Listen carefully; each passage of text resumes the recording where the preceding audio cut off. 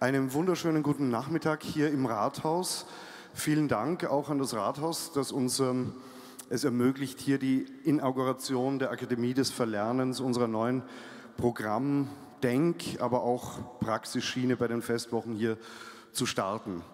Ähm, es ist mir eine ganz besonders große Freude, ähm, eine der wirklich ganz großen Denkerinnen auf dieser Welt hier heute bei uns äh, begrüßen zu dürfen. Uh, a warm welcome to Professor uh, Gayatri Spivak. Thank you very much.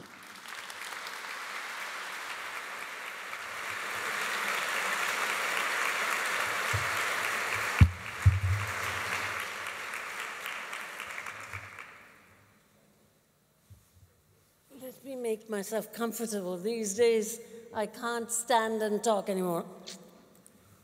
No clock, eh? All right. Wait a second. Wait a second. What did I say? See, after all of that elegant introduction, I now have to arrange myself so that I can be. Ah, yeah, it's okay. Yes? I see that it's a triangular seat, a new thing. Okay. All right. Well, I'm very happy you're here and I'm myself very happy to be here. It's a great honor to be asked to open this very well known festival week. Indeed, I'm terrified, but let's see what happens. And let's see what time it is, yes. Now, I have two charges. I'm a paid teacher, and so therefore, a paid teacher of the humanities. It's a very frightening task because the humanities do not teach information. They teach how to change desires, and the teacher has to assume the responsibility of learning that difficult task. I'm myself not a good teacher. It's a very scary thing to have this job. But I'm always very careful to do what I am asked to do. So I have two charges.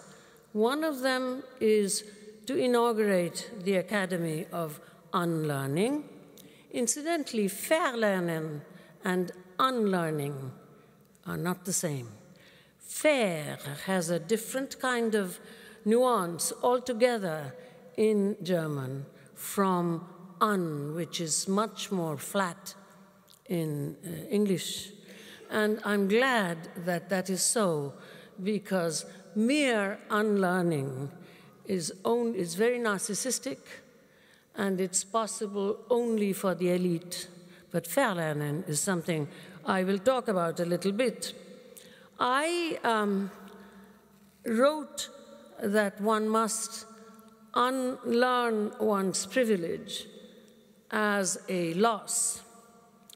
In the 80s, before I had actually entered the second time into the field of work, which was 1984, when I started working with the wonderful activist Zafrullah Chowdhury in uh, Bangladesh, and then in 1986, when, at the request of a middle class rural activist, I opened the 86 now, so that's a long time. Uh, I opened the five schools in, the very, in a very, very poor part of West Bengal and started teaching seriously unlearn one's privilege as one's loss belongs to a period before that engagement. When I began working, I realized that, in fact, what I should do, because it is not possible to unlearn one's privilege, privilege is historically given. Therefore, rather than focus on myself, and unlearn and unlearn. I should use my privilege against the grain. Let me tell you a little, I'll tell you two little stories and then I'll move on. If I don't finish in the allotted time. I will tell you what I was going to say in the rest of it, and we'll just have Q&A. Any rate, the, what I say to my students and teachers and supervisors in the villages is this. I am your enemy because I was born a caste Hindu. I do not believe in anything, but nor did my parents. I'm good. My parents were fantastic, and I'll say this again in my talk. But two generations do not undo thousands of years of denying you the right to intellectual labor. So, therefore, try to do without me. So, you see, this is, and I now, the biggest challenge, I had the good fortune to sit with Ranajit Guha uh, this, uh, late this morning and into the afternoon, the leader of the Subaltern Studies Collective. And as I was saying this to him, uh, smiles were breaking out on his face, and I felt enabled. Mm? So I was saying to him that this is the biggest challenge to unlearn in, in the sense of verlernen, because what you have to do is to use that learning. I've, I've called it affirmative sabotage, right? To use that learning against its grain rather than unlearn it and learn to learn how to work with mind machines that have been destroyed by your own ancestors. This is an unbelievable challenge. So this, and then at the other end, I also teach at, the, at Columbia University, which is a very uh, rich private uh, university, and I teach on the doctoral level, and I don't teach South Asia, I teach European material, vergleichende uh, Literaturwissenschaft. That's what I do, German, French, and English. So therefore, that's at the other end, right? So that there too, I have to unlearn what I was taught at school in the sense of verlernen, to use it against the grain in order to learn how to undo abilities in the children of the superpower who all want to help.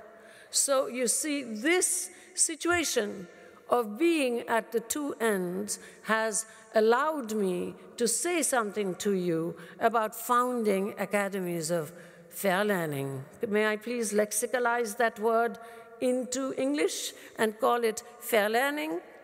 And so, therefore, the, um, another story, I've already told you the story of what I say to my students. The other story is that of one of my best students weeping in my office last Wednesday before last. That is to say, I think that was April 26th. He is in, the, in his fourth year. He's going to graduate with his Columbia degree. He is a student in the philosophy department, but of course, analytic philosophy, where unfortunately the subjectship of the philosopher is left absolutely unquestioned. So that there are people with the training of analytic philosophy who can dare to say that they can actually feel and grieve with all precarious beings in the world. Eh? What one is reminded of is that, remember, I'm a British literature person. Uh, one is reminded of the passage from Shakespeare where Glendower says, I can call the spirits from the vasty deep. And Henry says, Why? So can I, and so can anyone. But when you do call, do they answer you? See, this is not a question for analytic philosophers. So, this wonderful young man, whose name I will not mention, obviously, in my, he's all, all semester. I'm not a philosopher. I was trying to teach them how to read so that they could think about the words global and universal. And all semester, he has been so well taught to summarize, to find the gist, to tell you what the, what the text really means, to cut through all the crap, get to the point. You know, will to power through knowledge, I control it. Idea of knowledge is knowledge about knowledge. That's where he's at. And he's a fantastic student. But he couldn't read. He was so muscle bound that he couldn't let it go. And, you know, I ask my students to write a page of response for each class. I look at all of them as quickly as possible. By midnight, this ended the day before. And I construct my class on the basis of those responses. Not once was he able to read. He was able to summarize. He was able to show perspectives. He was able to relate, and so on. But I asked him in the final thing to do Wollstonecraft and Tom Paine and Rawls. He couldn't do them because I thought I'd give him stuff that he could work with, but he couldn't read them either. He can't read.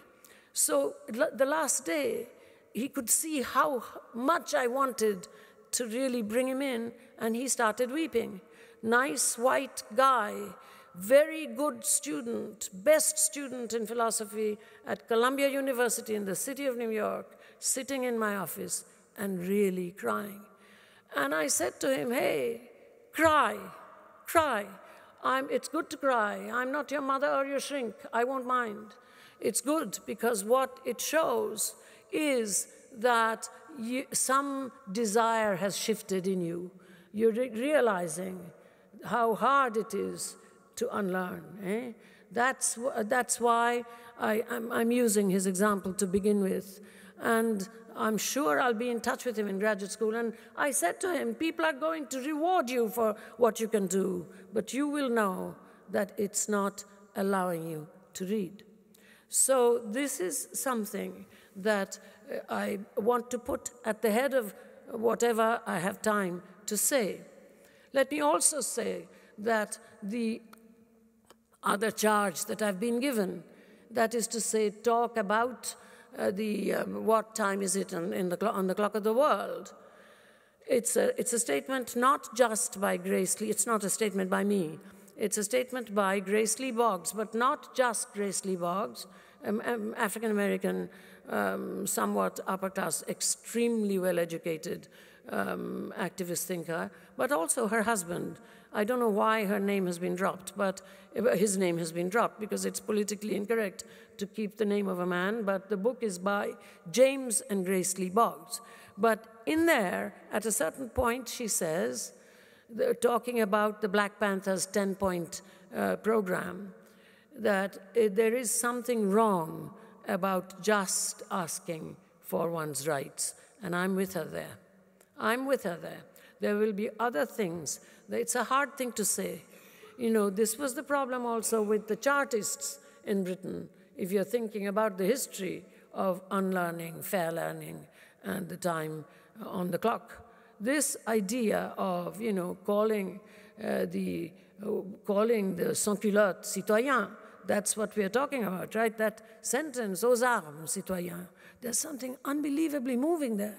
To be a called a citizen when you weren't. Today we know the migrant problems here. I mean, nothing has changed here as well as in the United States to be called a citizen is something else. So, in that situation, to be able to say that democracy is not just about your rights, it's not just me, me, me, however poor you are and however justified your demands. It takes courage to say that.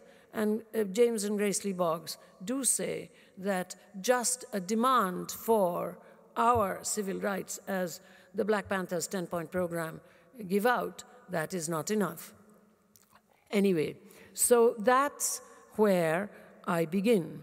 The um, means, the, the entire project that I'm talking about then is a changing of desire.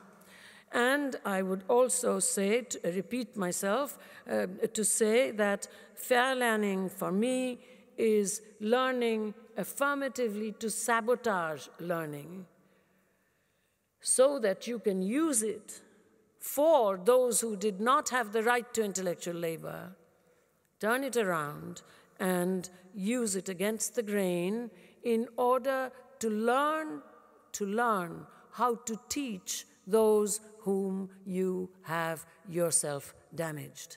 And I say this to all European radicals. I say this to all European radicals.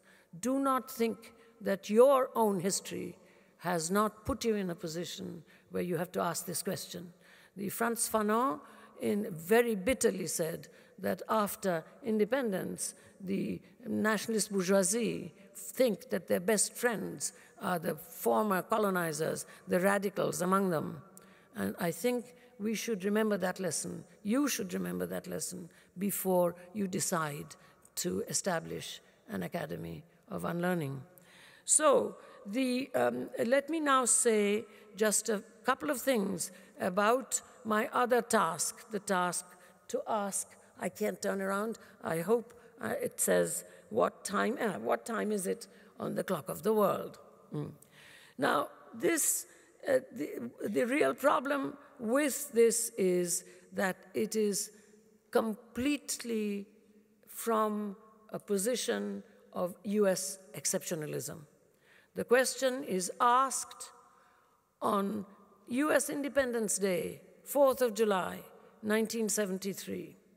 And the point is made steadily that, the, uh, that Americans, especially black Americans, must find a way to revolution that is suitable for the United States alone. She even does say, let us forget Africa. And so she moves on like that in order to suggest that other countries in the world, underdeveloped as she calls them, must learn that this is now the place which has been most developed, and therefore revolution can come forth from here. I'm sorry to say that I do not agree with that position at all. I don't think, in fact, the, it is the United States that's, that was going in 1973 to show the rest of the world, including the underdeveloped world, how to find, how to, how to, how to look toward a revolution that would be on the model of the United States alone. This is something that is a problem for me. Also, there is a complete misunderstanding of Pan Africanism there.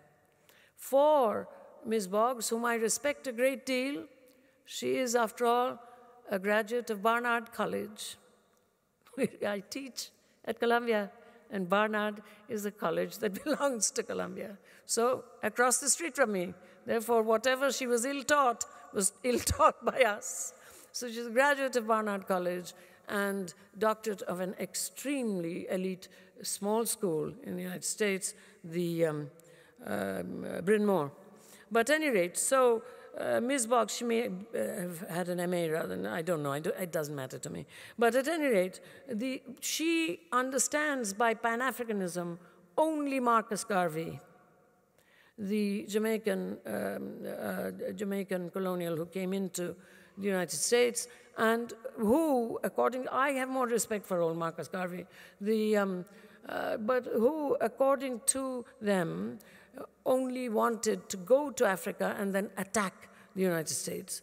She does not know anything about the Pan Africanism in which Patrice Lumumba, Frantz Fanon, Kofi Awoonor, W.E.B. Du Bois, and Nkrumah, all of these people, Jomo Kenyatta, all of these people were deeply involved. And as she is trying to prove that the colonials, the colonized, were not as important as the black uh, US folks, the African Americans, where I sort of agree with her, and I've, I have made this point. She does not realize that the great Pan African movements, which, which have failed, but nonetheless, it's something that we work with, the great Pan African movements wanted, in fact, to bring all of the uh, folks who had been undone by colonialism together. So there's that problem also.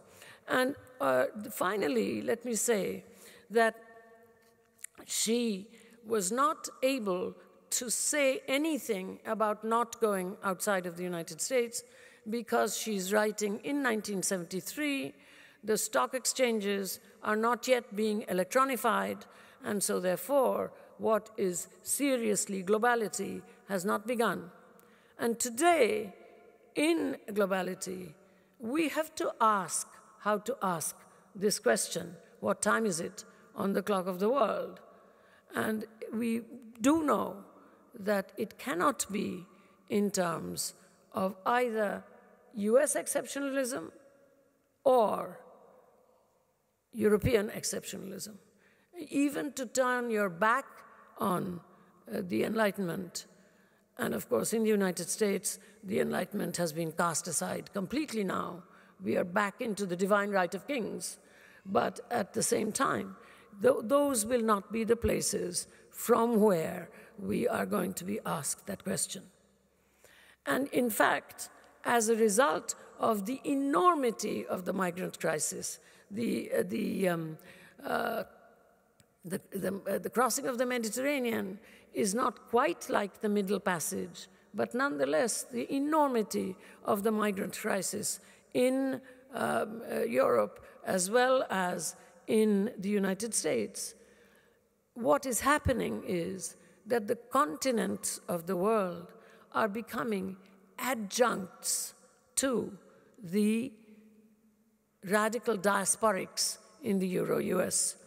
I want to go there, but before I go there, I just want to say that I want to mark where I agree with Grace Lee Boggs, and then I will go on to talking in terms of the fact that we have to look at the continents of the world again. We cannot just look at the diasporics, radical diasporics in the United States and in uh, Europe, with whom I certainly work. I certainly am an activist worker with them. But the continents of the world cannot become adjuncts to these folks. Now, Grace Lee Boggs, where do I agree with her? I agree with her when she realizes that what has to happen for a revolution to happen is that people must change. Those who are being, those who are seeking to bring the, uh, the revolution about must become different people. They will have to become different people. That there, that I do agree. She says that they cannot just want, they must themselves re realize that there is a distinction between wanting and needing. They want, need. These are desire words. Huh? The third word is desire. And want to change, to learn to recognize between wanting and needing, that is what we call rearrangement of desires. That is the task of the humanities teachers, uncoercive rearrangement of desires, so that uh, she writes, not only their political institutions, but they themselves must now be embarked on a, a, road not accelerating and worsening their political irresponsibility. So she goes on to say that they have to change, and not only by going to books, but by becoming different kinds of human beings, so that the life and death, as she says, of the entire human race depends on the revolutionist in the United States, and such people must therefore become a different kind of person.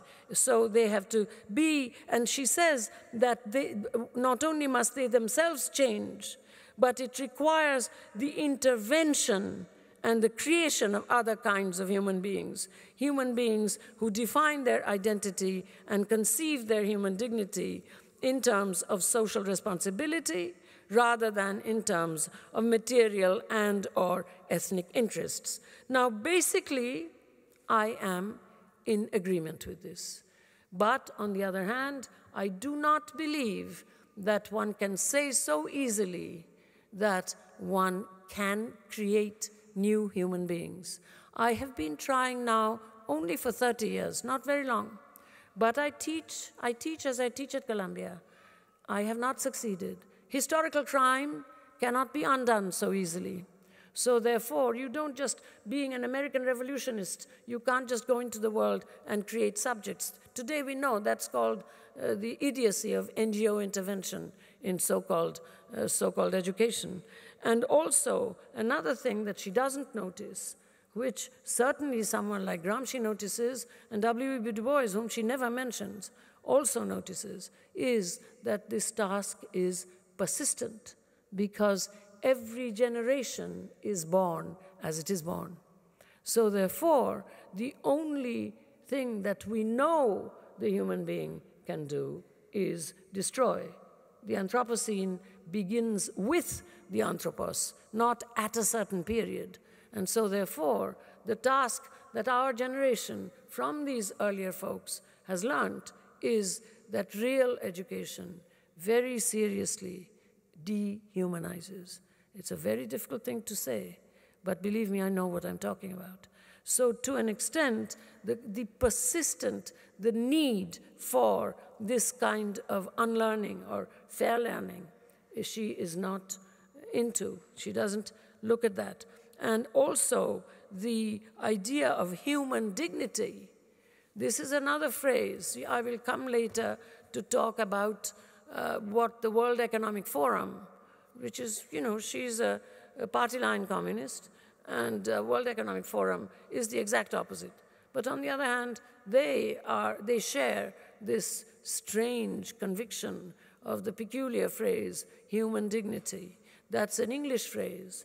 And in fact, you, I can certainly, I'm a translator, I can find synonyms, but translation is not finding synonyms. Translation, as I know because I have an excellent translator, I had a short conversation with her. I have apologized already for giving her this difficult text, but I know she'll do better than I would have. But a translator knows that when you translate, you try to find the cluster of ideas, and if it is necessary to do it in more than one word, you do it so that the people you are speaking to have some sense of what is being spoken of. Human dignity, you, you can find you can find um, synonyms, but the, the reason why one knows that it's not worth translating is that it has not been creolized. Whereas words like harassment, for example, in the thing, in the Declaration of, uh, Declaration of uh, Human Rights, I mean, the Declaration of Human Rights is constantly translated into very elite level other languages. But this is a romanticizing of languages other than uh, the Euro US languages, as if they're born free. This is a ridiculous kind of reverse racism. But what happens is that the actual users of the human rights stuff can't even understand those words. Most of them are illiterate anyway. They creolize the damn words. Harassment is the word, is the creolization of harassment. Huh? Technology is the creolization in Bangladesh of technology. So the, these are words that are not to be translated. So to that extent, the idea of human dignity is something that we should put on a shelf high up. Anyway, so now I want to uh, remind myself of what I just said. I've already taken 25 minutes. The, um, remind myself of what I just said and get into um, the body of uh, the talk. I said that in this hour of reckoning, extraordinary migrant crises in both Europe and the US, and the government's turning more and more toward the right. This moment on the world clock, the continents of the world are in danger of becoming adjuncts of the concerned diasporics with the good whites the concerned diasporics and the good whites together. So, in that understanding and re realizing that today it is known that this pride in European and US exceptionalism is no longer viable, the world's clock is not set to them.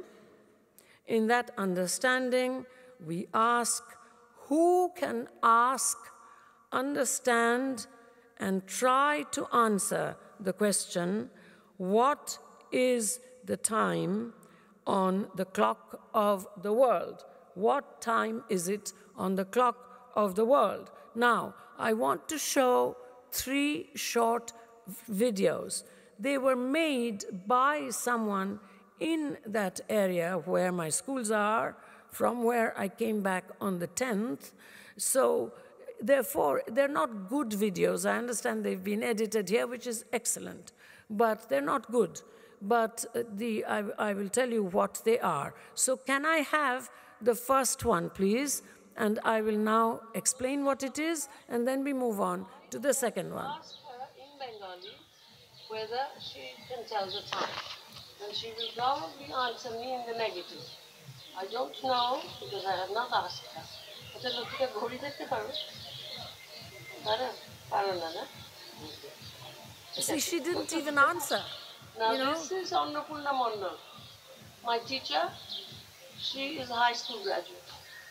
Now I am going to ask her in English, and I think she will be able to respond, but I'm not sure. Annapurna, what is the time?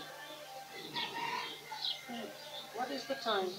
What is the time?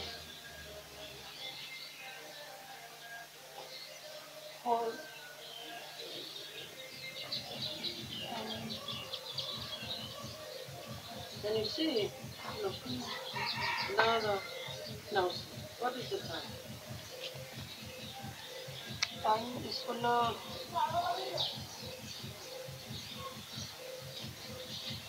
Saturday point. In English? English? There's so much noise. Four... Uh, okay. Four um, clock high. Very good. Thank you. That's it for now. And you Thank see, you. this woman, the one who couldn't even answer, she's an extremely capable woman. She has cows.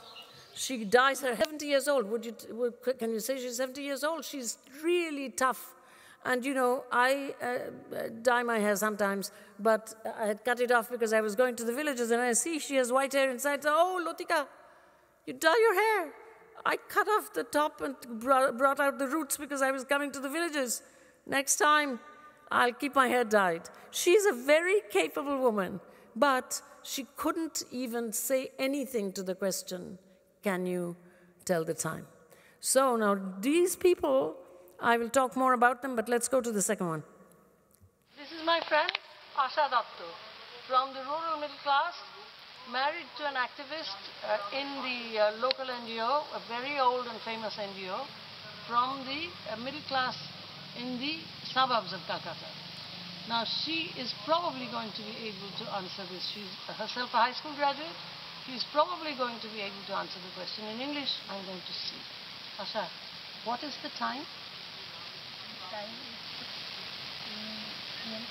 The time is 6 p.m. Very good. Now, do you understand what is the time on the world clock? World clock. What is? What do you think is the world clock? Okay, you can say it in Bengali if you like. What is the world clock?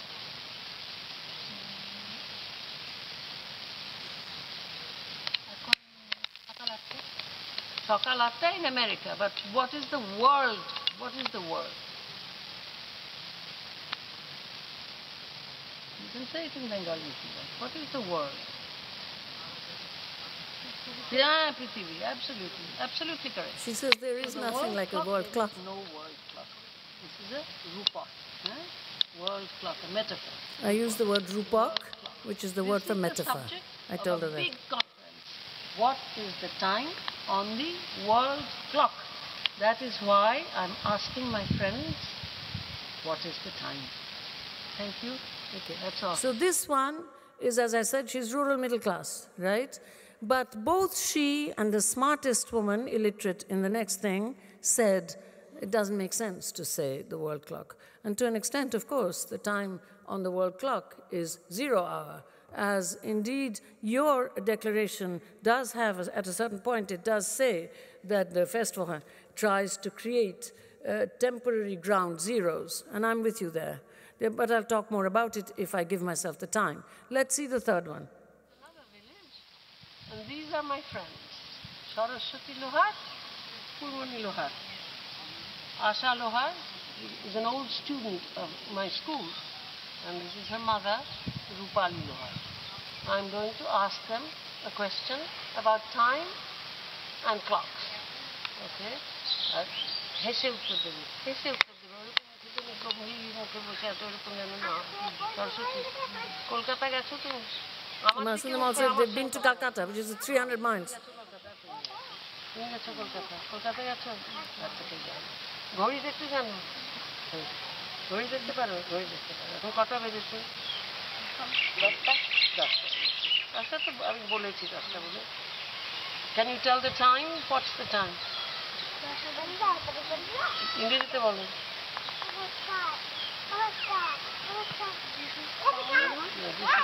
বাবু ঠিক আছে থাক দশটা দশ তুমি ঘড়ি দেখতে জানো এইটুকুই জিজ্ঞেস করতে চেয়েছিলাম আচ্ছা ওয়ার্ল্ড কথাটার মানে কি ওয়ার্ল্ড মানে জানো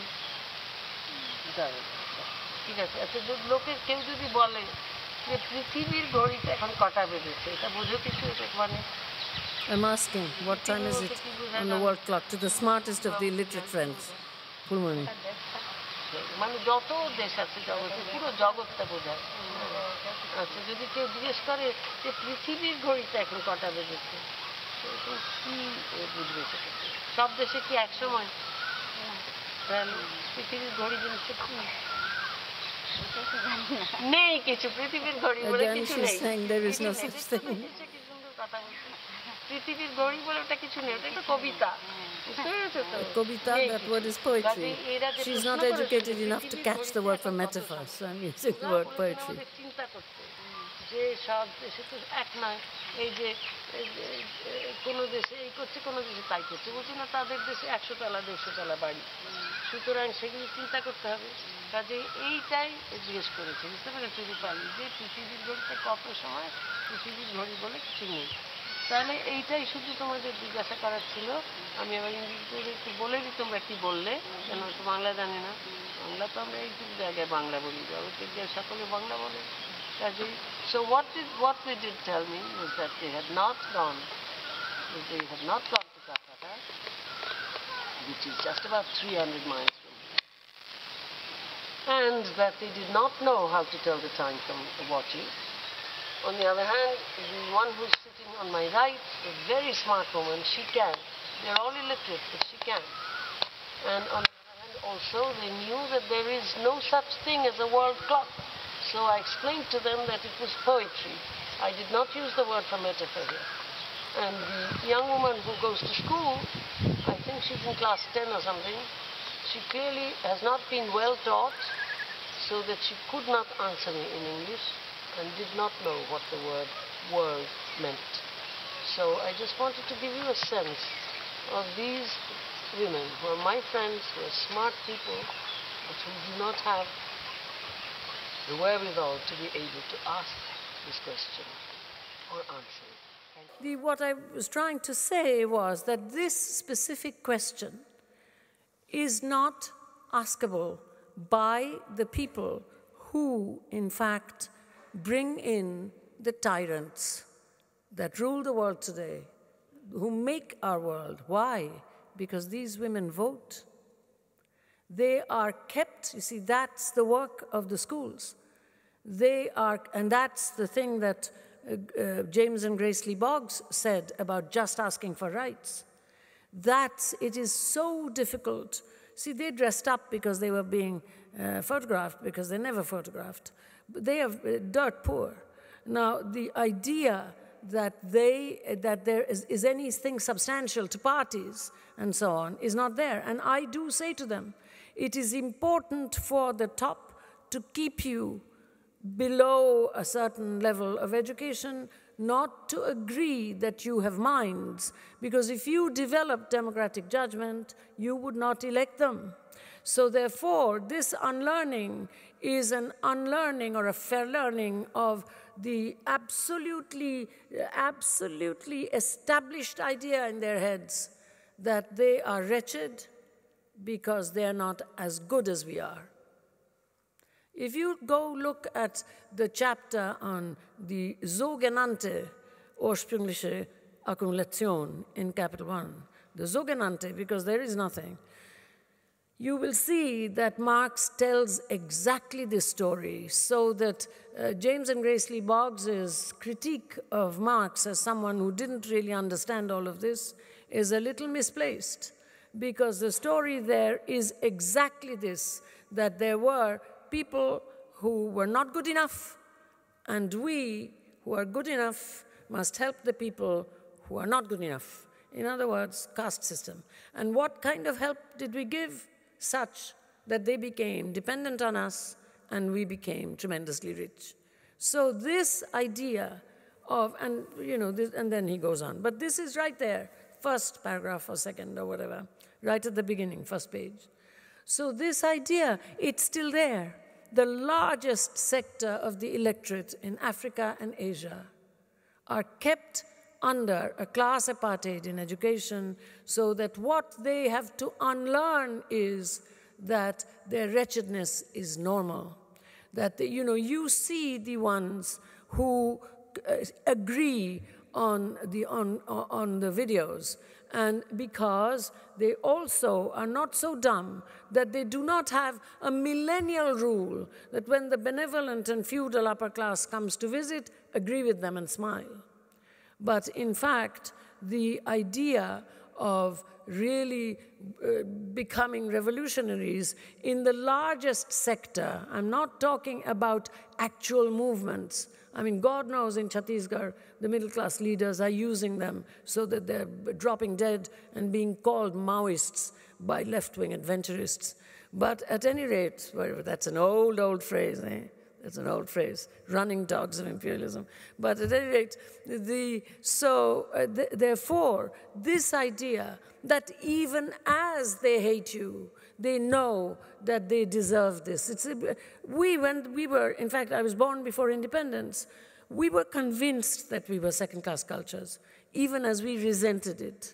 We were convinced. My first boyfriend said to me, Darling, my foreign friends think you're very good looking. Think that's, that was the thing, white friends. So, no, why? Because that's real judgment, you know.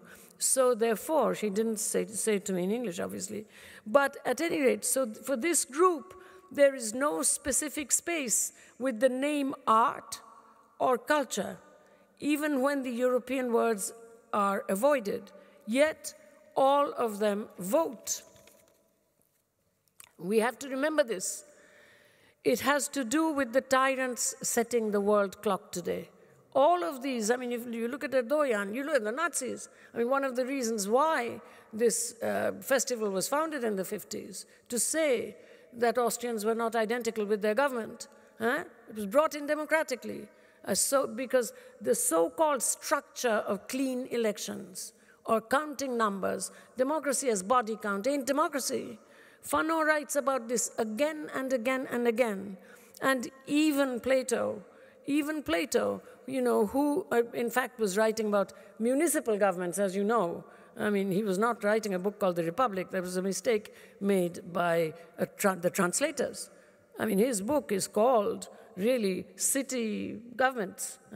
City constitutions, municipal governments in very uniform uh, areas where the structure was kept. Even he, who didn't like democracy all that much, but even he said over and over again that the only way that it would work is if everyone is educated in judgment.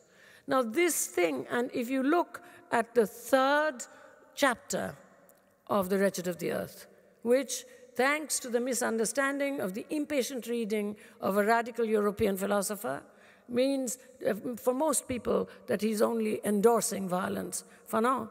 But in the very long middle section, again and again with uncanny clarity, he says that the only way in which post colonial Africa is not going to become nothing but what Weber called um, um, patrimonial states, with democratic structures, so called, to keep one party government in place and run the government by patronage. Now, this is true not only in the post colonial nations, but nonetheless, Fanon said again and again in that book written in the last 10 weeks of his life, knowing that he was uh, perhaps um, uh, programmed for a painful death, 36 year old man. He wrote again and again that the only solution is for the young to be politicized, and next, next sentence, by that I mean an education unconnected with immediate uh, goals. And Gramsci's question is, and Du Bois's question is, is it possible to give this education and not produce an oligarchic mindset? That's my question too. It's an extremely difficult thing. It is not just quickly unlearning, no. So, this particular thing upon which, and yet for what, for what we have for education today, is knowledge management. That's what we have for education today, or STEM. Again, tremendously far in substance, yet technologically connected to all the big items that we have so far been able to launch through the Vienna Festival Week. You wrote me, Töne und Gegentöne, Theater an der Wien, Big Beat, Big Motion, world unknown to Vienna, of new post dramatic theater forms, Arena 70, Counter Festival for new art and social forms, create frameworks for new alliances. These are connected technologically. I mean, you have had to constitute yourself as a corporation. These are connected technologically with the really destructive knowledge management technique with which education is given today, even as people at the top can unlearn. Remember, verlernen is not unlearn.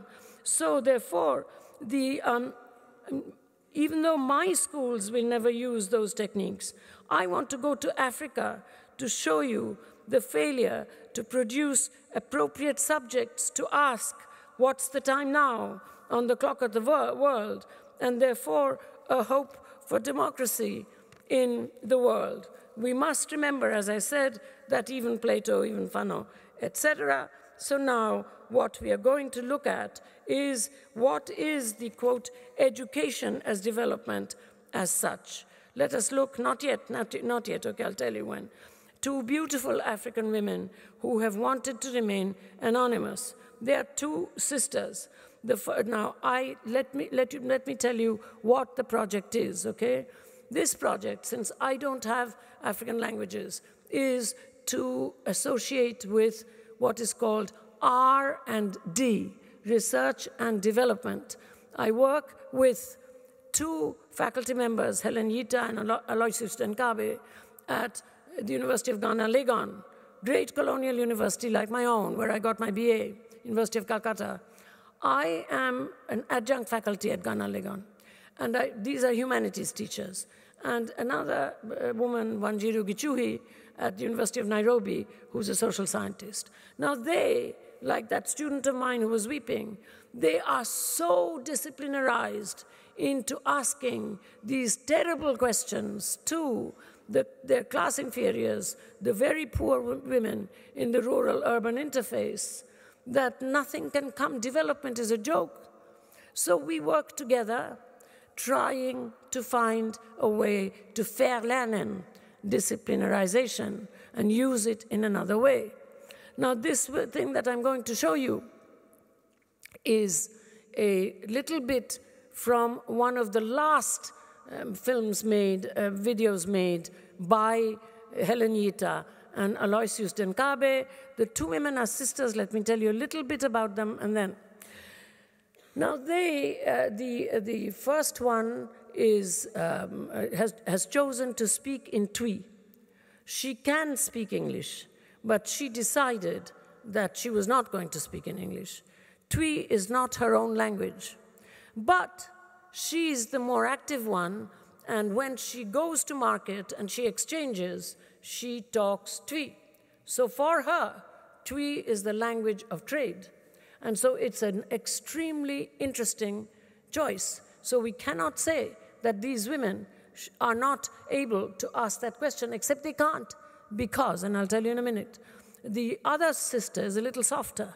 She had been uh, sent to, uh, to Accra to be able to be educated in this horrible way because I think by her third mother, because uh, they have uh, they needed one person to be educated, and the third mother died, and the third mother's children stopped. So she's without any help. She's received very bad straight education. Okay, they're extraordinary. They were squatting in a little house which was a mansion on one side being built no, no toilet, obviously, no roof, for, except for a little bit. You will hear all kinds of noises, as you heard on mine. And they, one of them has decided to leave, the Twi speaking. And she is going to a place called Winneba.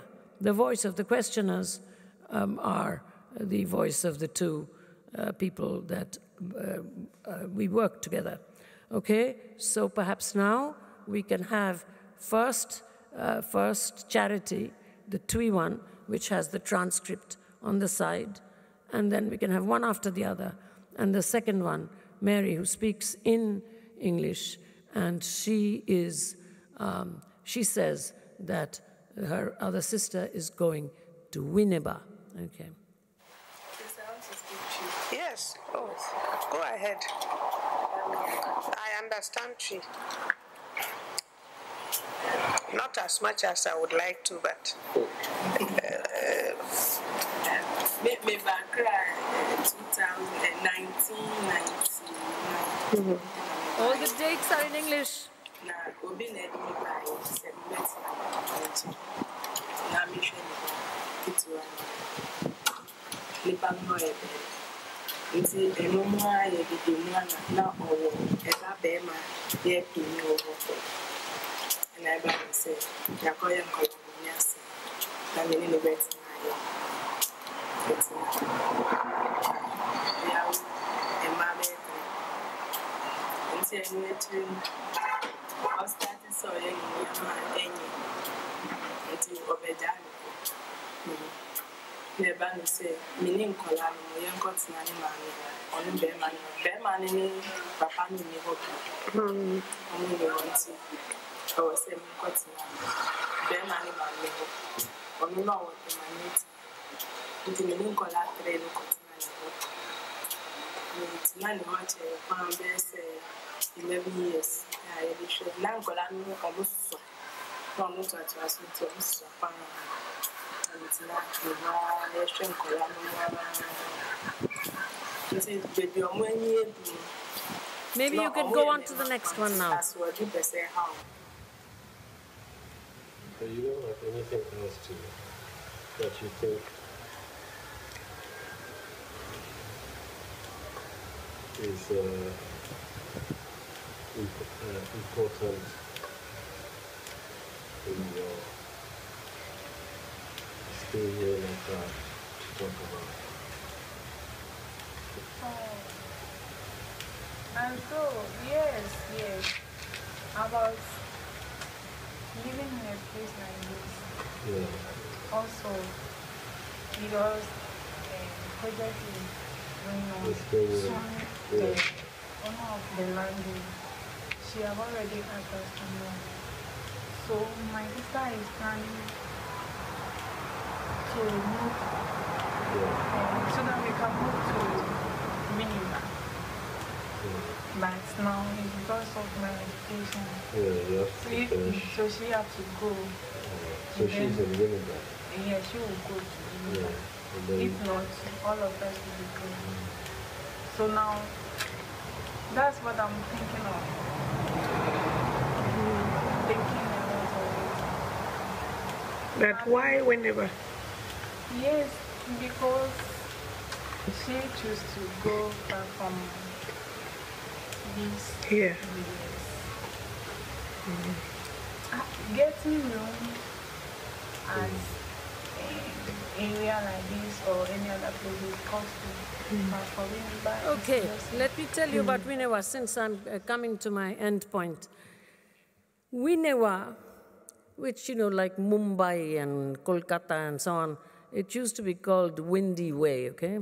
So Winewa. Winewa is being developed by an American company in Maryland as a resort. And therefore, these droves of this, oh, the first woman is going there because there will be droves of underpaid, almost um, slavery level forced uh, work available. And since they're being kicked out of that place where they're sitting, which is uh, a mansion being built by another African, so therefore, one of them is, and I don't know what the other one is going to do, the longer interview, she doesn't know where she'll go.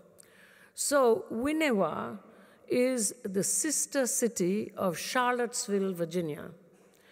I have been, as usual, you know, as being a woman of color, etc., uh, I'm asked to do, give all kinds of big talks. I've just been asked to deliver the Thomas Jefferson Lecture at the University of Virginia, which is Thomas Jefferson's University in Charlottesville, Virginia. I can assure you they do not know that Winewa is their sister city. Now, I want you to look at a clip of Winewa. If I could just see the first clip. There we go. See, University of Education. What does that mean, first of all? University of Education, Winewa. You see, this part is actually the, um, this part is uh, developed by the American stuff. This is not where uh, charity is going to live. Now, I would like, to, like you to see what their curriculum is. Now, the curriculum is 42 pages long. Okay, can we see the curriculum? So obviously, I haven't given the whole 42 pages. This is just a taste. And, the, and uh, you see, they even have a diploma in theater arts, but look at the other ones. And then the, the actual um, thing is given there, the URL, if you are interested. So this, are, this is, in fact, knowledge management preparation in entrepreneurship, insertion into the circuit of capital, which is without any kind of other preparation. So I want, if you want to jump from this to South Africa, you will see that in South Africa, it's the same sort of thing. I'm not going to read the whole thing from South Africa, but I was asked once again to speak in KwaZulu Natal some years ago, two years ago, in fact, it's just, and I looked at something called the Quality Enhancement Project, which was being circulated in South Africa upon all of the university teachers. I read it very, very carefully, and they were very, very um, uh, sincere in promoting this quality enhancement project. Every teacher had to teach in that way, and I quote, the focus is necessitated by the combination of low participation rate, only 17% of 20 to 24 year olds, low throughput rates, and stark racial bias in student success. No one can fault this, although it's very far from, uh, um, from unlearning. Except that in order to achieve speed and convenience, the framers went to the work of a man called John Kotter, who teaches in the Harvard Business School, who developed a program within a business context and then expanded into other contexts with no real care for specificity. Imagine that South Africa, in its current condition, has to listen to this quality enhancement project on a business model while we can talk about unlearning. And the, in the published literature we read, much of it can be adapted to a higher education context. The way in which one leads and succeeds in business is good with these kinds of knowledge management toolkit type systems. That sort of success is not the success in preparing the ground with damaged cognitive systems. To insert the disenfranchised into entrepreneurship without subject formation, train, formative training is a sure formula for corruption and violence. When I work with my, at home with my teachers and supervisors, I told you what I tell them, so I'm not going to repeat myself. So, but this thing, I'm obliged to say that in fact, this kind of toolkit and template where teaching is made easy, it actually destroys the possibility of education in the broader sense. It is a formula for success where the specificity of groups is generalized, as in the Kotter expansions, and success is measured in soft statistics. And you know, in my neck of the woods, in the primary schools, whatever you get, the teachers don't teach, and whatever the student gets, even 2%, they're passed in order to enhance the lit literacy or high school, how many years of schooling in the Human Development Index so that India can rise in the development index. I'm not talking about something I've read in the newspapers. I know these people. These are my students. I know exactly who they are and how their lives are destroyed. So, to an extent, we have to remember that this compromising of quality and development and existentially, existential impoverishment by complete confidence in so called toolkits and templates is the way in which all of the, uh, the, the so called uh, uh, uh, people who are below a certain class line, the largest sector of the electorate, supposedly are taught in that way. In fact, they're not taught. And the statistics that are produced are incomplete and incorrect and quite often there in order to rise on indexes. We have to remember this before we decide that we can, as I said in the case of analytic philosophy, we can touch the whole world. Then Henry will ask, when you do call, do they answer you? And just the agreement, agreement of your diasporics group in uh, Europe is not the whole world. The world clock is not set there. So to that extent, the I will say, now I have spoken for a whole hour now. I think I'm not going to say anything anymore. I will just tell you what I was going to say, and you can ask me questions. I was going to quote from what I said to my own university just in January when they were uh, in Calcutta, when they were celebrating their 200th anniversary, okay, 1817. I'm not going to read it. It's a, it's, a, it's, a, it's a breakdown of what happens to the elite enclave at uh, big universities in the so-called global south, even as they're up for sale in a reverse racist description, as if the global south is monolithic for um, resources and allocations, clusters of excellence in Europe. And then I would have said uh, what I wrote since I'm still on the experts committee of the World Economic Forum, what I had said on the blog to them, and I will keep a formula from there which it, it was against knowledge management. Right at the end, I had said that you are what you are going to have to do is real knowledge depends on cooking the soul with slow learning, not the instant soup of a one size fits all toolkit. The world is not populated by humanoid drones. You cannot produce a toolkit for, quote, a moral metric.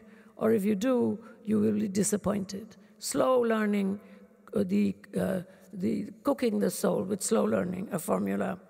And then I would have read from what I said to the Shanghai Biennale, where I was not understood at all by all of the biggies, you know, Documenta, this, that.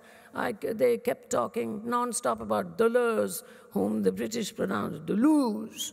But at any rate, the, there, was, uh, there was that. I mean, they were Foucault and Deleuze. But at any rate, so, I mean, they don't know how to pronounce these names, for heaven's sake. But at any rate, the, uh, there I said that what they have to, they have to think of is the idea that uh, art also and universally provides access to a stop time in which nothing resembling history happens yet. An empty time, suffered as empty, the very time of the human condition, only stopped. It does not disturb. Historical unlearning does not disturb, disturb this. It's a stop time, para contextual, short of history. So, to an extent, the, um, that's something I would have said, those two formulas. And then I would have gone on and I'll read the very final paragraph that I do believe I did write.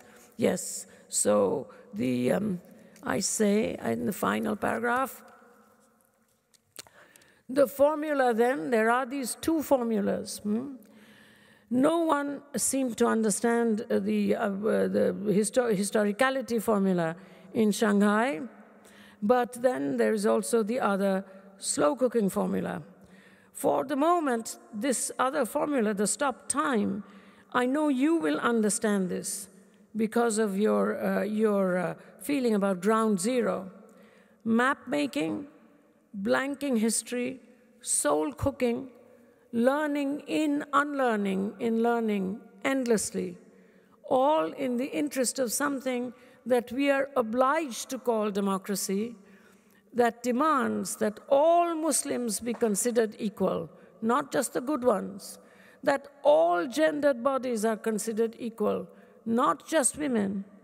All races must be considered equal, not just your own or your own former colonies. And class must be learned to unlearn. How to do such a hard thing? Ah, then the strict divide between academies of learning and unlearning must be actively and ceaselessly undone. See, in Europe, in the last few months, I was asked in Berlin, in Utrecht, and now here, not to talk like an academic. I'm an academic. I value the possibility of what one can do if one undoes some of the incredible constraints within which the corporatized academies of the world are suffering and making others suffer, and you are within that problem. As I said, you are constituted as a corporation. So, to an extent, in order to answer that question, a very difficult question, that to be equal is not to be the same, I can't do it, but I can tell you something about it. But for that, the, one has to undo the strict divide between academies of learning and unlearning actively and ceaselessly. And as a paid teacher, your servant, I will then welcome you into my classroom, just as Wittgenstein, whom after all you all know, said, You cannot learn how to play the piano with one lesson. We've seen all of those one lesson teach ins and be ins and this ins and that ins. I started teaching in the US in 1965 as a tenure track uh, assistant professor. So, all that, that US idea of consciousness raising by just not doing homework is a very fine idea of how to do instant soup in terms of your own interests and a belief that you can make change easily. So, to an extent, the, if one really wants to learn the answer to that question, then welcome to my classroom. Thank you.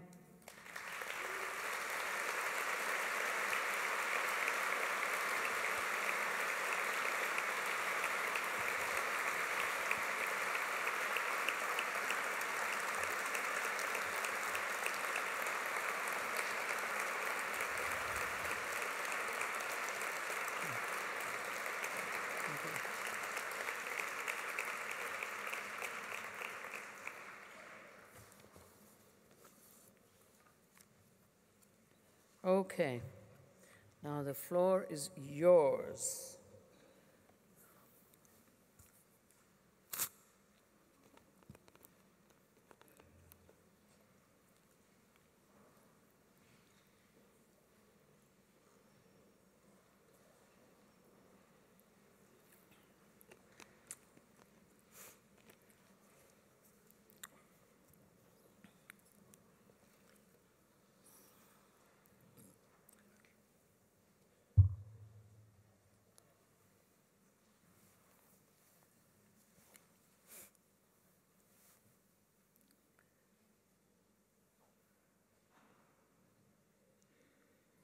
It's hard, isn't it? to ask the first question, because I often do, in order, not because I have anything to ask, but in order to make other. Good, good, just ask me anything. Stand up so that other people can.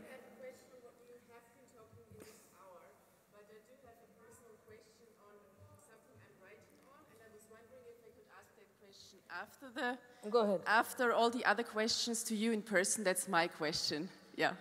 Okay, so go ahead, you ask, and maybe someone else then will ask, and I'll take three and we'll move. Ask.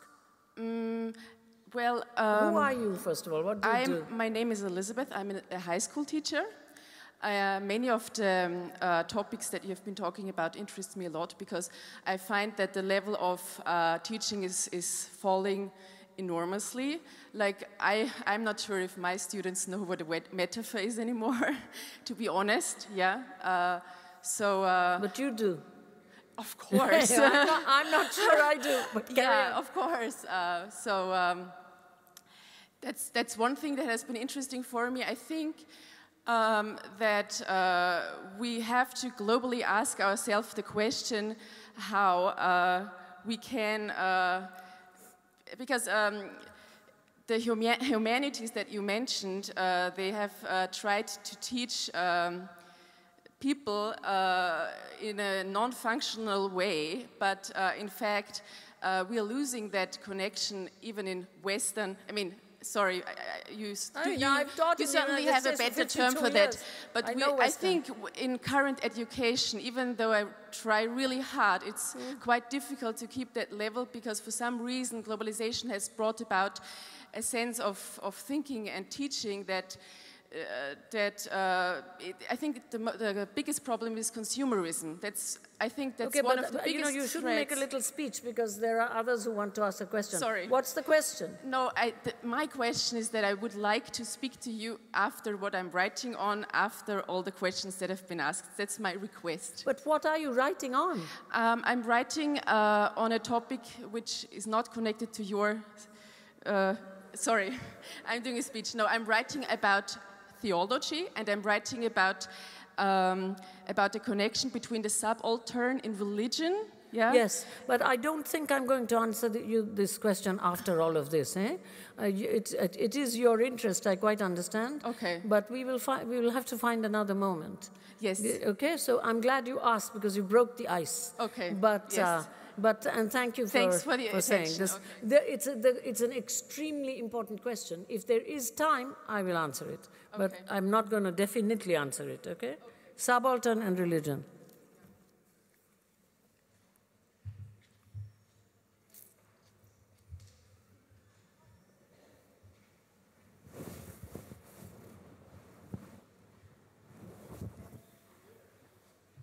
Okay. Uh, first of all, thank you for your talk. Uh, really inspiring. I see. Do, do we do the Who Am I game again? Uh, are you what? Do, do we do the Who Am I game again, like we did before? I uh, couldn't understand what you. No, sorry. Your name, oh, yes. right. Yeah. Do we do the Who Am I game today uh, or again, like we did before? Okay. No, just. Um, okay. So I'm a I'm a philosopher uh, from Vienna. I'm, I'm teaching here at the university. What um, uh, concerns me primarily um, within your talk and the practice of your talk is before you talked about uh, Boggs and the uh, Black Panther program, you uh, inserted the distinction between want and need. It was And- Boggs's. That was Boggs's, right? Okay, yeah, and now is the interesting question. Is this a distinction you would uh, want to make uh, in this program within humanities of the relearning and learning of desire? Is the distinction between want and need necessary? Uh, and how would this look? Can you speak to this? Because this seems to me Excellent- crucial for praxis. Excellent Yeah. question. What were you saying before that I couldn't understand? No, it was, uh, she was, uh, you asked her who she is. yes, this- I wanted to know also. And your name is what? Uh, well, my name is Eckhard Lindner. I'm a philosopher here. Yeah. Uh, yes, philosophy teacher at a university. Yeah, yeah, yeah. Good. Yes, that's a very, very important question. Yes, Uh, let's let's get to it as soon as the third question is asked.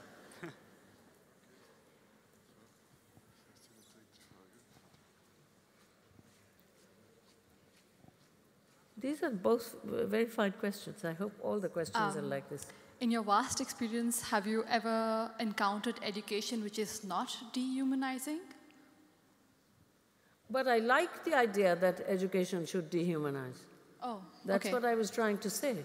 That, you know, you have to have a real kind of sentimental relationship to the idea of being human, uh, if, I mean, in, in terms of everything that we now know. I'm not, uh, I, uh, I'm not particularly enthralled by uh, the subject of the uh, straight, white, uh, man of property as something that everyone should be like, which is where humanism started. So, to an extent, let's let's uh, uh, no dehumanizing. I think it's is a good project. In fact, I have written a a, a paper which you may uh, find because it's published, where I say that you know since to be human, I'm beginning with the third uh, uh question. To be human is imposed upon us as a sudden thing. Just read Melanie Klein. You know, the, um, and in fact, if you read Kant, philosophy teacher, I don't know uh, if you're teaching so-called continental or analytic or what, it's the synthetic a priori to an extent. The, the things that come that you cannot, uh, cannot um, argue uh, legally for the, exist for the existence of these things, but somehow you have to assume them in order to be human. So, therefore, in great mythologies, this is quite often represented as rape, whereas we give to this big, beautiful words like transcendental and so on and so forth. So, but on the other hand, Leda and the Swan, Europa and the Bull, there I'm telling you stories that you know. But in other kinds of stories, you know, the, uh, the, the, the, the uh, Renan's question uh, when uh, Joseph asks Marie, qui vous a mis dans cette fichue position, Marie? And she says, C'était le pigeon, Joseph. So, to an extent, that's the story, isn't it? The story of, of you know, sudden, the Buddha, etc., etc. They're all raped generally by animals, animals who are, of course, standing in for the divine. So, to an extent, the idea that the general structure of rape is the one that is the, uh, the, the, the fact of being human is connected with then what comes the, the destructive impulse, the self uh, centered impulse. I don't particularly believe in original sin. I don't think it's anything like that. But on the other hand, it is really true, even controlling through knowledge. Why do these things happen? Why, if you don't make people unlike human beings as they normally are, why do you see that cyber stuff is always stealing, pornography, uh, uh, horrifying hacking? You have to put all kind. Why is it? Why does the law have to be enforced constantly? Why is it? So that to an extent, the idea that uh, you have uh, to uh, make people you know, worthy of the name of the human being, etc. I just can't mooch about the human in that way without really being completely unrealistic about the history of the world till today. That's part of my uh, planetarity stuff, too, number one.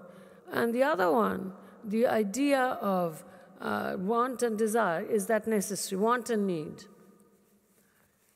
You know, I don't know because want, need, and desire, these are very simple kind of uh, pre-critical psychological model, okay? I mean, I know that they are used in things like behaviorist economics. Economics trying to give some kind of twist to rational choice brings in this kind of model. So I would say that since, uh, I, and it's also too moral, you know, I'm not one who would say, listen, be good. Eh? Be good is a useless uh, kind of directive. If you change uh, and rearrange desires, you want to do things that are seemingly, you know, when you teach children to kill, they will kill. You know, it's like writing on wet cement. I teach children. So, to an extent, it's not really a question of moral injunctions. Hey, take only what you need, not what you want.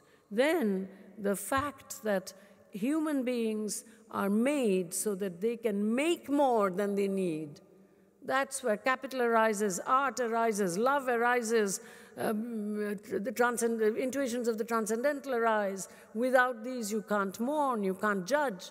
You get confused there. Also, violence can be desired. Once you get into the question of gendering, it becomes a dangerous supplement, the incalculable. So I'm not one who would say, hey, you know, like Lear says, remember in Shakespeare, reason not the need. So who the hell is going to tell you. I mean, there are some, people who really need uh, like things that I can't even think about. You know, when I'm in the, uh, in the villages as I was until the 10th, I don't have flushing toilets. I found out that I don't need them. I found out, I mean, it doesn't bother me. If I, uh, if I uh, put a bucket of water every time I do a number two, and uh, it, it, it, doesn't smell uh, because it's nicely constructed, my little, uh, my little whatchamacallit. So, you know, it's not a need then, isn't it? Is it? But on the other hand, you tell my sister brought up the same way, that she's going to have to live without, uh, with a little non-flashing toilet in a kind of, you know, like a tiny little room. And she said, my goodness, no, I need a flashing toilet. So what is it? What do you want and what do you need? It's therefore, it's very hard to fix needs, as all consumerists know. So what I am interested in is trying to know the folks whom I teach well enough so that in a non-psychoanalytic, broad thumbnail kind of way, I have a certain idea of what they desire, which is bigger than the need want distinction, you know, which it's a little useless. Eh? So, therefore, that, and then to be able to try to rearrange them. I can't change anything, but I can try to. read. it, this is this requires intellectual labor. This requires me to, on the other hand, to say, listen, just take what you need and not what you want to the very, very poor whose children are playing with stones and bricks. It ain't right. Well, they don't have what they need. Yet they must be taught that democracy is about completely other people. So it's, it's, it's no, I don't think you need the need want thing. And I don't think you need to talk about desire constantly. I do talk about it to, with my supervisors and teachers, but not with the children. I try to devise a pedagogy whereby they will want to want. See, want is coming in there, not using the word desire. They will want to want, not what they're wanting right now. It's a hard one. So it's an excellent question, but it's a practical question. See, you should see me at work.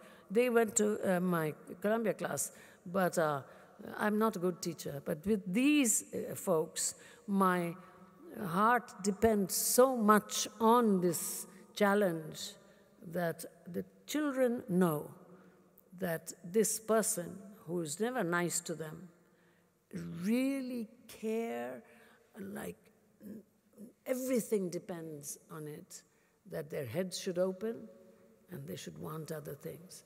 Whether they can do that or not is something else, but they have complete confidence in me. This I do know. So, therefore, it's a question that's constantly asked and answered in different ways. Subaltern and religion, I will, in fact, I will answer the question because it does relate to this. See, I was talking to um, Ranajit Guha. I mean, I'm sure you folks know who he is, right? He was the person who, in 1983, I think, uh, changed Gramsci's idea of the subaltern and started the South, East, uh, South Asian history group called Subaltern Studies. That's, uh, and there, he wrote a, I met him in 84. He wrote a book called elementary aspects of peasant insurgency more than 30 years ago. What he shows there is that when, now the subaltern obviously is not generalizable. Subalterns are different in every part of the world. You can't generalize them. They are folks who do not have, uh, they, who vote but do not have access to the stru structures of citizenship. The, but in many different ways. I mean, if the welfare state is being dismantled, then the 99% in New York City are being subalternized. They do not resemble the, some of the subalterns that you saw in India and Africa. So subalternity is all kinds of things. And it's a position without identity. It's not like a primitive thing, And no one who can say I'm a subaltern is a subaltern. But at any rate, subalternity needs to be destroyed constantly but so that uh, the, one enters the real circuit of citizenship. But at any rate, the subaltern generally is not educated into this idea of uh, social change in the ways in which, let, us say, Grace Lee uh, Boggs knows it, right? So therefore, their way of getting into the world historical, that is to say, something bigger than just my problems and my group's problems and our sufferings, to think of a better world, not just for my, me and my group, is through religion quite often. They bring religion to crisis so that they bring subalternity to crisis. And so that to an extent, by, and we, and this does not have to be the religion you were born into. The, one of the first, uh, first real, um, real uh, struggles, insurgency against the British was because 1857 was something else. I'm not going to get, into that now. Just calling it the First War of Independence does not make it the First War of Independence. But at any rate, was by a man who was a, uh, an Aboriginal who, in fact, transformed millenarian Christianity into a, political program of getting rid of the British. He was caught by Indian police working for the British. In the same way, what Du Bois writes about, W.E.B. Du Bois, in Black Reconstruction, after he has written, you know, the, uh, the, the, what happened after the emancipation of the slaves, after he had written about the black worker and the white worker, Du Bois writes a chapter called The Coming of the Lord, where, with great respect, he writes about the enslaved subaltern accessing the world historical through the transcendental narrative of Christ and redemption. So, to an extent, this is why religion is both dangerous and powerful, because it isn't always, after all, mobilized for socially just ends. But on the other hand, the, I'd much rather have liberation theology without the theology. But on the other hand, it is really true that to an extent, the only thing that brings in a notion of the world at large to the subaltern would be these kinds of religi religious systems understood in this way, not in terms of institutional behavior. But the problem is that the institutional behavior where the imaginative scope of religion is turned into the most restrictive function of the brain, which is belief, ontological commitment. It really is like this. That comes hand in hand, so that it's both medicine and poison. And therefore, it's, uh, it's something which can't uh, dismissed as just Nebengeschäfte.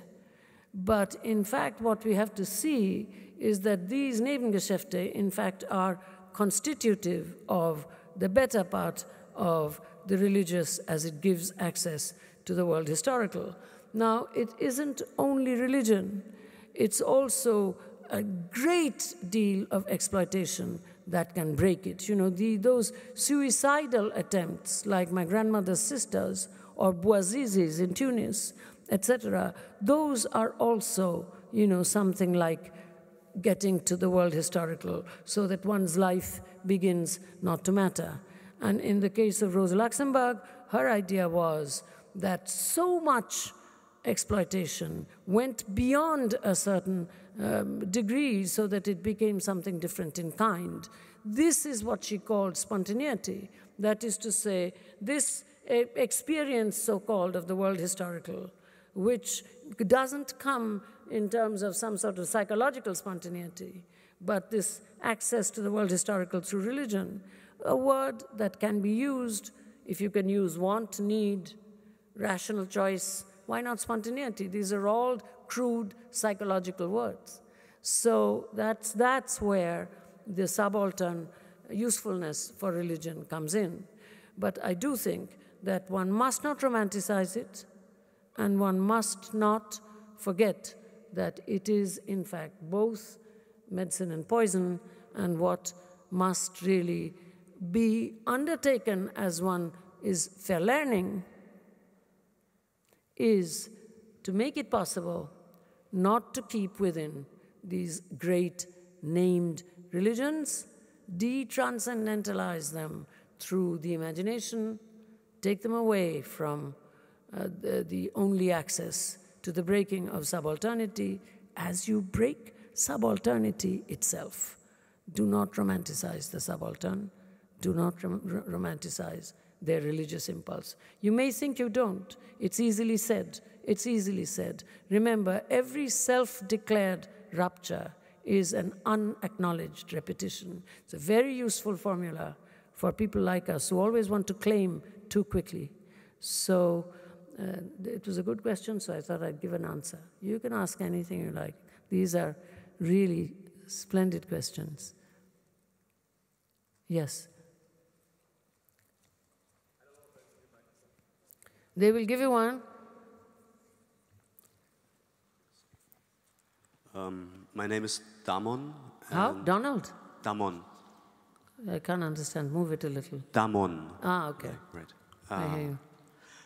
Since you talked about, also uh, you quoted authors. Um, I quoted who? authors as Shakespeare. Authors, authors yes. So, uh, I asked myself, what can be the role of creative writing and speaking in contemporary times? Uh, doing, like, participating in this unlearning, because literature tends to do the opposite sometimes, in my opinion. Uh, so, yeah, that would be my question. Solid question. Okay, anything else?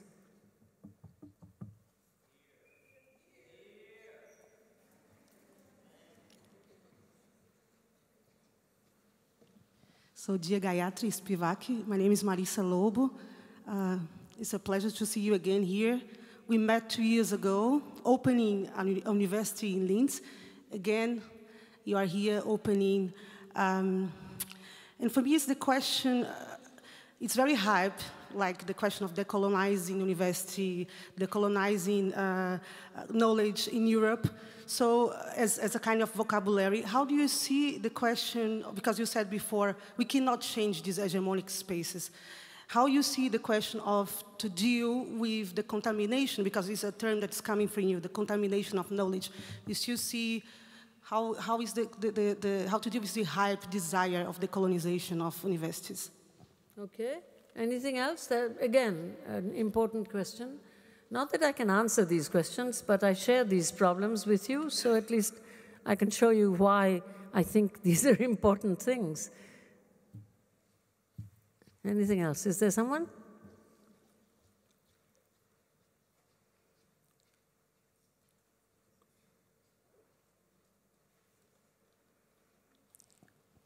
My name is Sabine.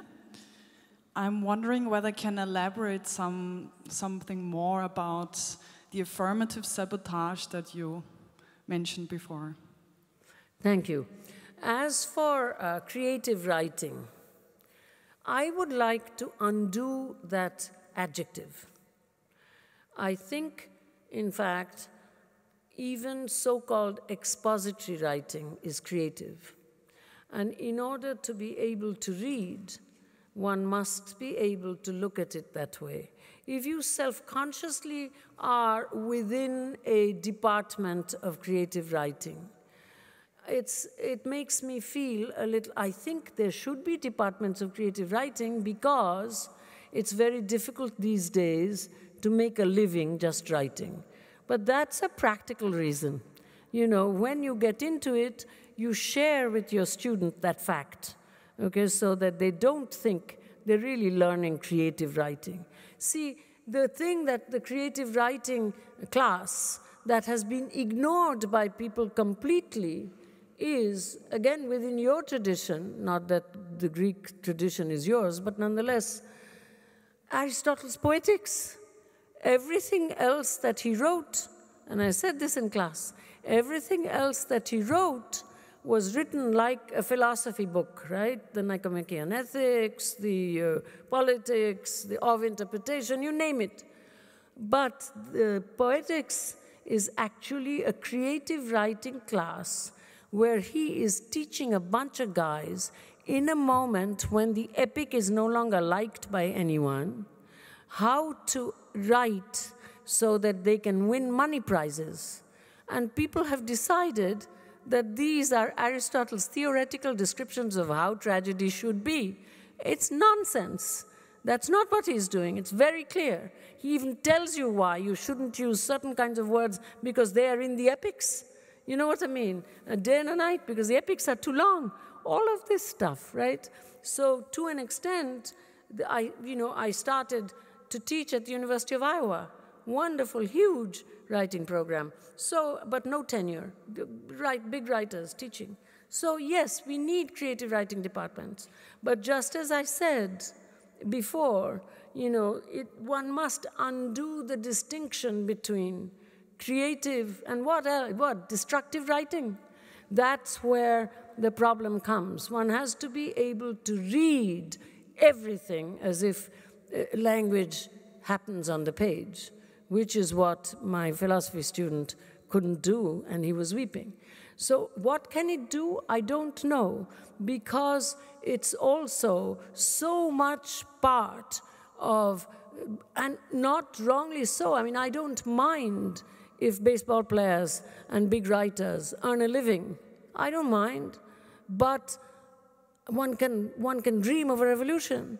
So, to an extent, the, it is so dependent upon all kinds of structures of patronage that in India, for example, the vernacular literatures, which are fine traditions, are going to hell, where, whereas Vikram Seth, whose novels I like very much, and Amitav Ghosh, whose novels I truly like, you know, it's not a question of liking or disliking.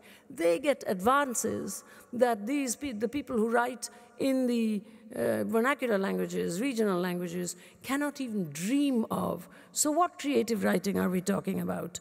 There is, it's a very competitive field in terms of what creative writing can do.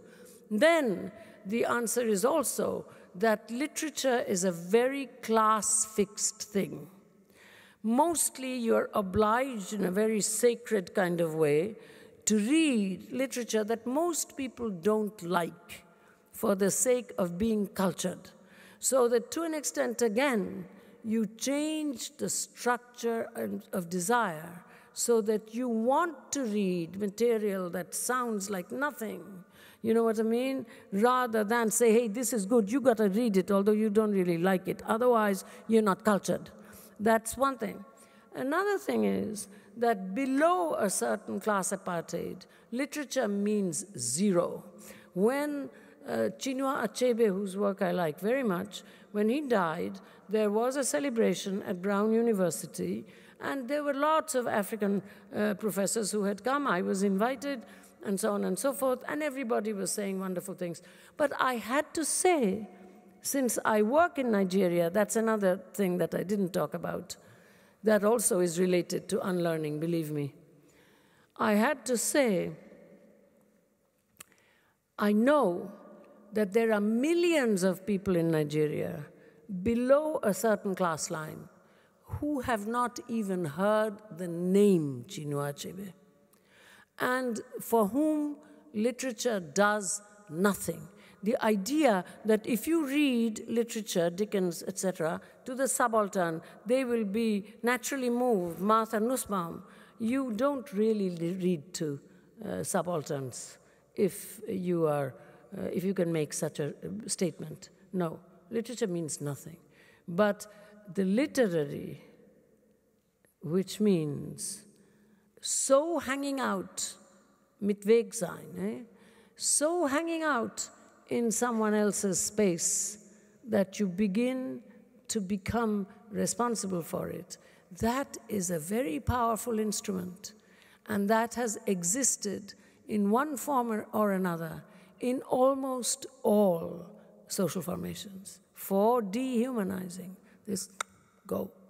That's, so that's something. But within our humanities, you think humanities are taught in the way that I'm talking about it? I've taught for too long not to know. I'm not popular.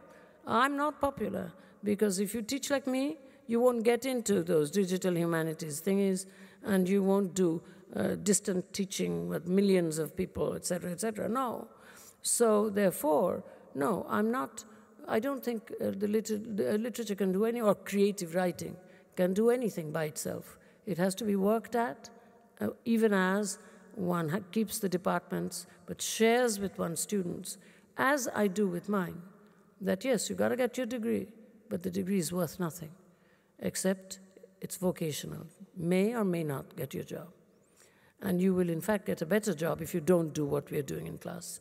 You know, as long as they're your partners, then I think something.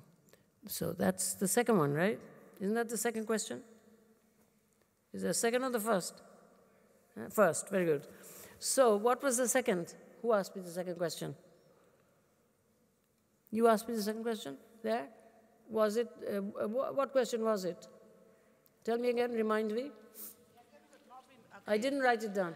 So what's the question of how to deal with the, the hype, desire, the colonization of universities and art fields and, and the contamination of the knowledge as you, yeah. Okay.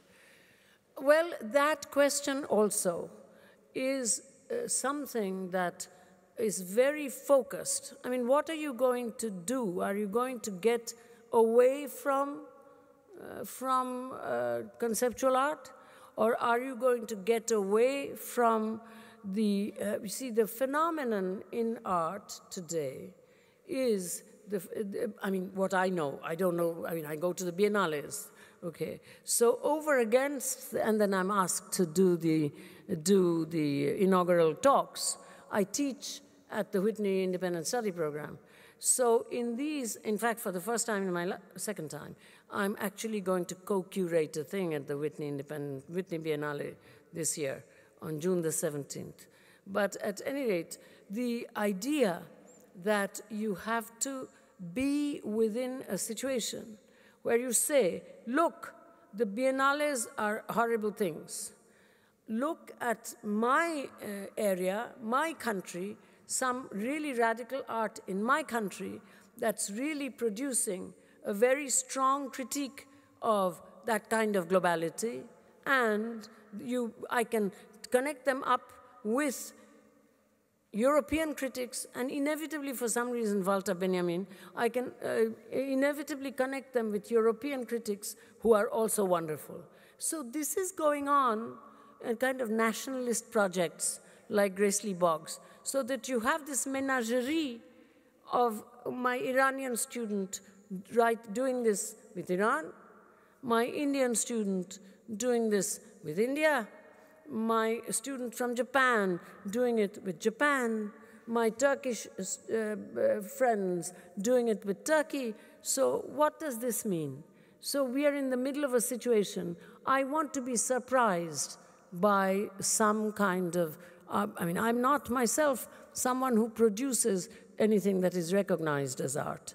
So, on the other hand, the idea of art means nothing under a certain, a certain level. So, therefore, since I'm actually, uh, I mean, you know, people will say, oh, look how wonderfully, non figuratively, they decorate their houses. But on the other hand, the, uh, when you uh, discuss this as quote art unquote, I mean, I'm not interested in patronizing these people who live within a reality that is absolutely other. They have one vote in India, so do I have one vote. So, in that, we are equal. The democratic body count, arithmetical equality. I don't want to patronize them with, look how wonderfully you are doing this non figurative decoration. It's really something, isn't it? I don't want to do that kind of nonsense. Let them lose it and then find it again as museum stuff, right? So th that's what we did, didn't we? So therefore, I don't know what the answer is about undoing contamination. Now, what was the third question? In this section, I answered it already. Dehumanized. Huh? Oh, I forgot. How could I have forgotten that one? Okay. I should write it down, but I don't have a pencil. You see, I took out the thing that I thought had a pencil, it doesn't have a pencil. Anyway, affirmative sabotage. You have all kinds of things that you learned because you are able to come into this room. It already shows me that you have learned many different kinds of things, including, uh, not, including forgetting how to squat on your haunches for hours and hours and hours and hours, like some of my friends here can do. I mean, the ones you saw. Your body has lost certain kinds of skills, but you have learned a lot of things. Now, the idea that you are going to just simply not do them anymore because they are produced by dead white males is a very elite idea. I should also say that the master's house can be unmade only and best and in the briefest time by the master's tools. And how do I know this? Because I took the trouble to see that the person who said that that was not so, whom I respect greatly, said this in a moment of rage, rhetorically, like a piece of creative writing. See what I mean? Audre Lorde, because she was treated like shit at NYU. She was very angered, and she wrote this sentence The master's tools cannot be brought down by, uh, but the master's house cannot be brought down.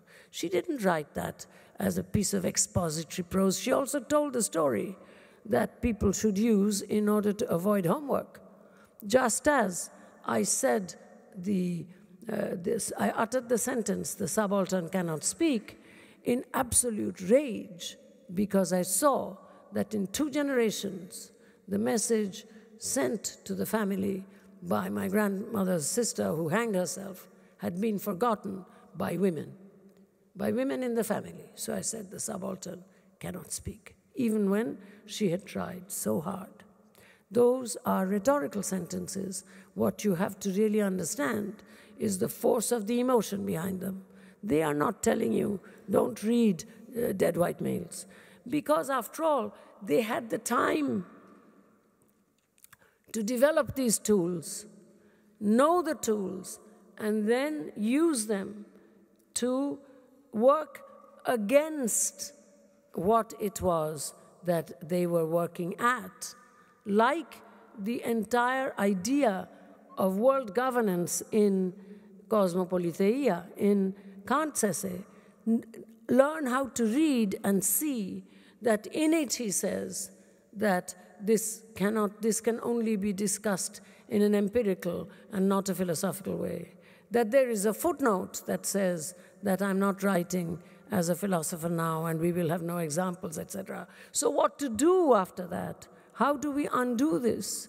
Notice, for example, learn to read that the only section in the, I don't know why Kant has come to mind, the only section in a critique of pure reason which is all metaphorical is in fact the one on the noumenon and the phenomenon. Truth is a lake and this and that. Why? Because if you read it, not like my student who was weeping, by cutting away all of that and just making summaries, then you will see that you can perhaps make it go somewhere else. So, therefore, it seems to me that rather than just simply decide that anything that smart people who had the leisure and the position to develop must not be touched by us, know it well and turn it around. And know something else that if it was a good idea, then other people thought it too, and they were not necessarily white males.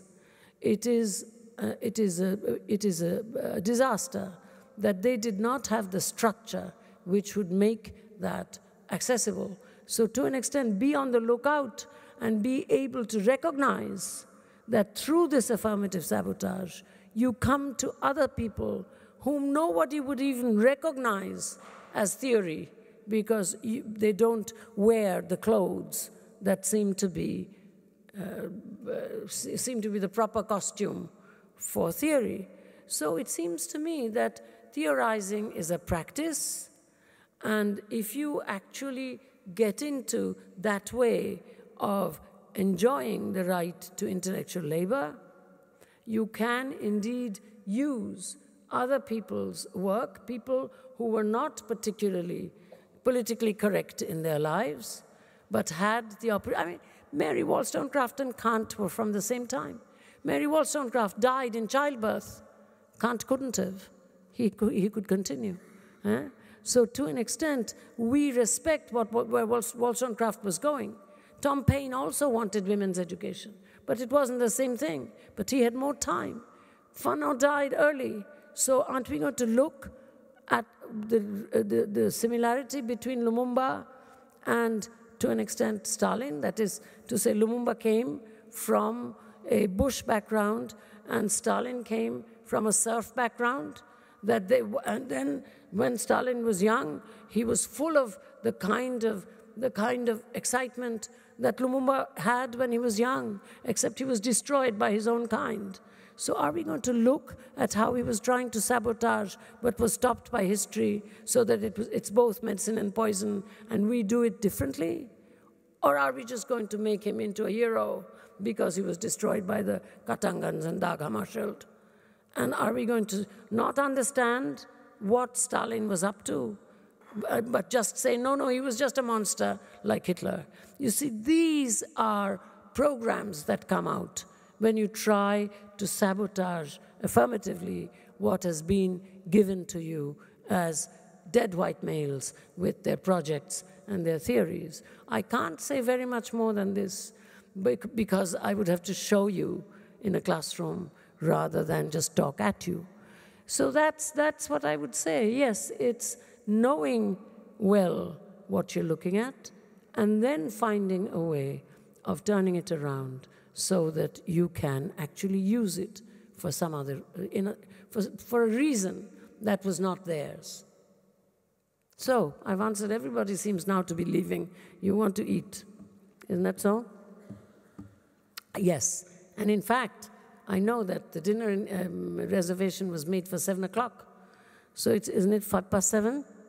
So unless you are totally dying to ask me a final question that you think only I can answer, I, would, I will leave you with a reminder that it is very good to establish an academy of unlearning, but don't claim to have done so.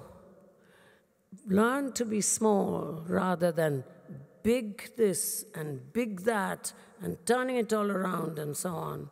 Learn to be small. Undo the difference between the real academy, which is in great trouble, and uh, the academies that one founds because as an elite, they can, they think, unlearn. Unlearning is almost impossible because the learning that's in your blood is historical. The claim that you make, the self declared claim, is generally an unacknowledged repetition of something. So I would say it's and learning is better than unlearning. That's the affirmative sabotage I'm talking about. Let the, let the um, academy be what the first academy was, which is to say, walking about. Remember, there was a walkabout. They walked as they learned. I think it would be a great idea to move around and not have wonderful rooms and corporate existence. And you must do that in order to survive. I'm not against it. After all, I pay income tax in the United States. How many cents for the defense budget? But at the same time, the Academy of Unlearning should be dissolved as soon as established in reality. and no claims should be made. And when you want to ask that question, remember the continents are not all accessible to the NGO radar. You cannot do these kinds of things with an interpreter. It's a collective work. There are many, many, the world's wealth of languages. You can't learn them all. Learn a few, and you'll see how hard it is to want to access everyone in order to ask that question. And remember that it was first asked through US exceptionalism. Don't be exceptionalists. The first right that I have is the right to refuse. So thank you very much for asking. Bye bye.